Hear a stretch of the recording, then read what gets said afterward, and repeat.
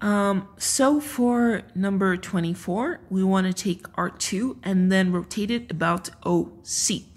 Um, now OC is this line here, right? And this line is the line x is equal to 0. x is equal to 0. Um, so when we take R2 and we rotate it about this line, uh, what we're going to have here is we're going to have a bunch of of circles that go like this, right? So this shape is going to be sort of a a funnel. Um, so when we when we sum this up, we're going to be summing up these disks um, across the y-axis, right? So we're going to be integrating with respect to y.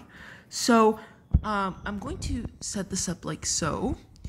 And now uh, we do have to find where where it begins, right? Um, and actually, let's see, because the lower part is, so it goes all the way to zero, even if we don't see it. It's just hidden. Um, because the lower part of this curve is the fourth root of x, which is defined all the way from x is equal to zero. Um, so we're summing that up from 0 to 1 across the y-axis, because once more we're stacking them up. Um, we're stacking them up like so. And then we just think about how to express this, right? We do have to express this in terms of y, since we're integrating with respect to y. Um, and we can see here that the, that the radius is basically going to go from x is equal to 0 all the way out to where it touches this curve the fourth root of x. So basically that's the radius, right? The only thing that's missing is for us to express it in terms of y and not x.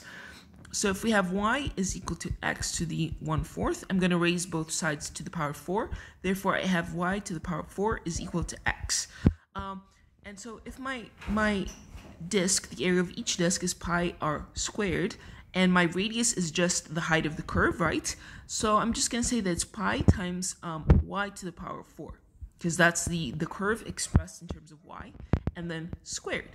Um, therefore, my area is just, uh, when we square it, is just pi times y to the power of 8.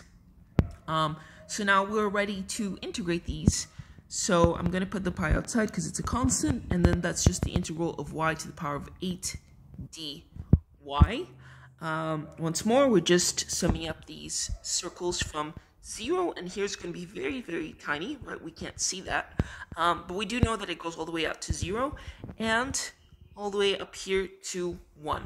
So when we integrate this, um, this is just pi times y to the power of 9 over 9 from 0 to 1. And then when we plug in these boundaries, that's um, pi over 9, right? That's 1 over 9. And then minus 0, that goes away. So our volume is just um, pi over 9.